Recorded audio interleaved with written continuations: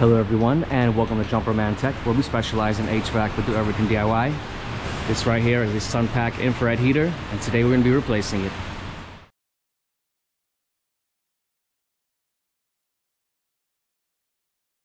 Just open the control panel. If you look inside, everything is burnt out. And that's why today we're going to be replacing this. I'm going to start by disconnecting the electrical. We got two cables coming in here it get tied in. So we got 24 volts coming in, also coming out feeding another one of these heaters. So let's begin by taking apart these wires.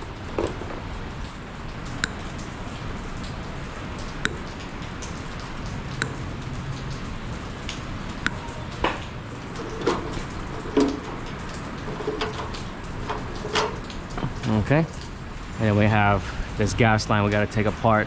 Here's the valve. It's actually in a closed position, and then we have a union. So it looks like just gonna take off the union, and then this thing will be free to drop, and we'll rebuild it from the floor.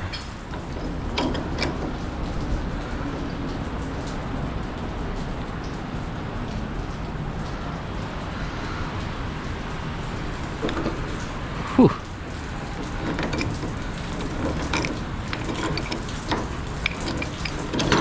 Gas valve was already closed.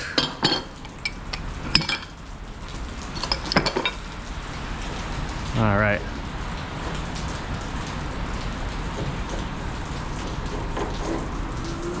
Free. So there's some sort of bracket on top and there's two screws holding it on the edge and we should be able to drop this if we do it on both sides. So take off the sec take off the next screw and hold it up. Make sure it doesn't fall. Okay.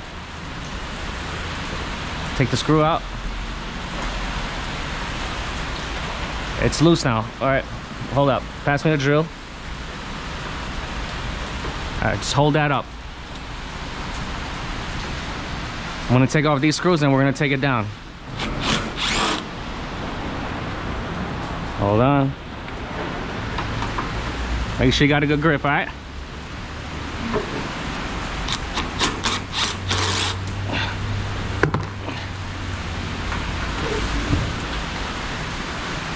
All right, bring it down. All right. Come down the ladder.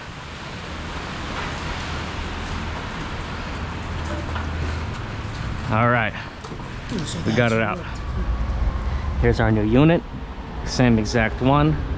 Just took it out of the packaging. I noticed like a little dent over here. Hmm. Shouldn't be much, but anyways. Electrical comes in here and this is our gas connection. It goes right into the gas valve. So what I want to do is take this apart and rebuild it for here. So then we could just connect that last union up top. So let's go ahead by taking this out. So we're holding back on the gas valve. Let's see if we can get this to go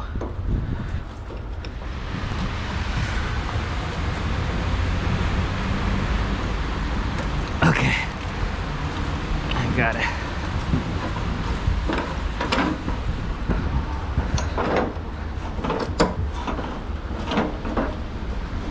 This pipe wrench really is not good. You can let go.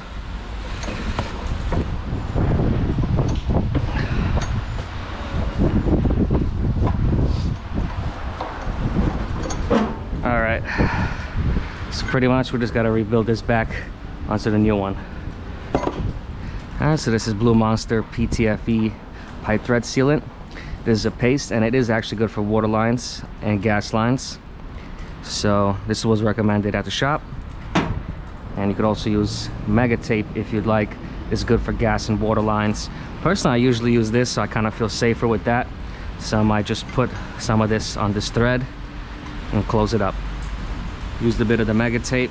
Never had a problem with this so let's go ahead and get this started. What i gotta do is actually line up this gas valve because it's a bit off from where the hole is.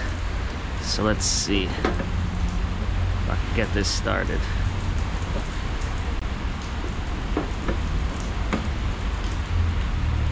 All right let's get that tight in my hand and then snug it down.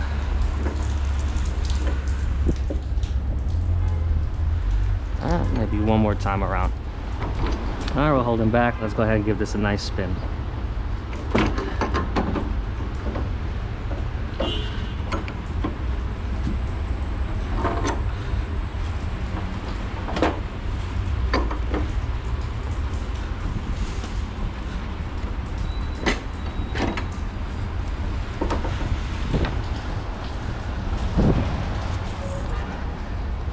I have a little connector in here which I'm gonna use to bring in our power.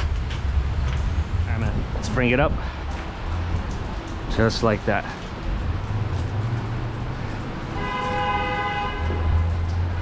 Make sure you got a good grip.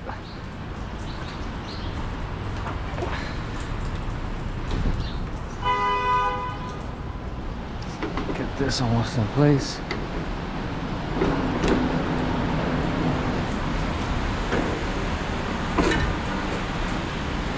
All done.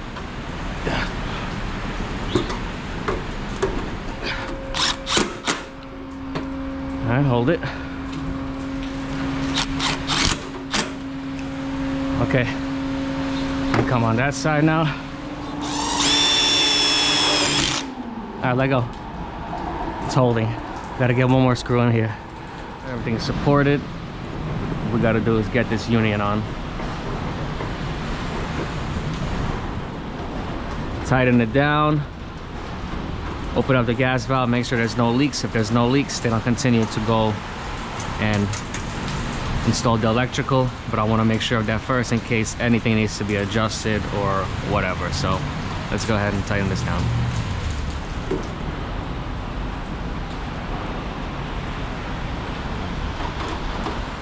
I'm going to open up the gas valve and check for leaks. As long as we got no leaks we should be good to go could use this micro gas leak detector and I also have a, an electronic combustible gas leak detector. Let's go ahead and make sure we got no leaks. All right everything's looking good. I'm gonna go ahead and bring in our existing wires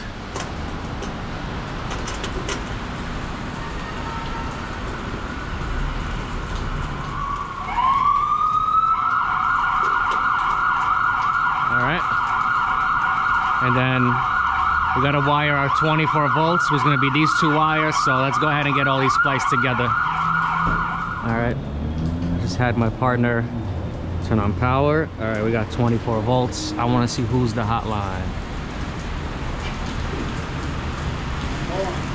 Got it.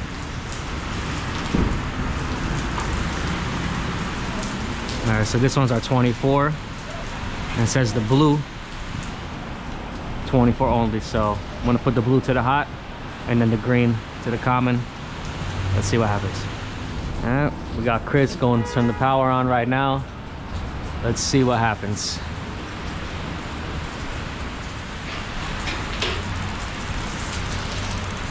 All right i see a little flame. And it's heating up. Look at that we're already at 300 degrees 400 degrees beautiful. That's a beautiful thing. You can see it glowing. It's so hot my meter can't even read it. Look at that. 936 degrees. We got about a thousand degrees up there. Wow. That's awesome. All right guys we're gonna wrap it up from here. Everything's good. Just got to close up this panel make sure the electrical connections are secure. But that's pretty much it. If anyone found this video interesting or helpful please drop a like comment, and subscribe as I come out with new videos every week. And I'll catch you all next time.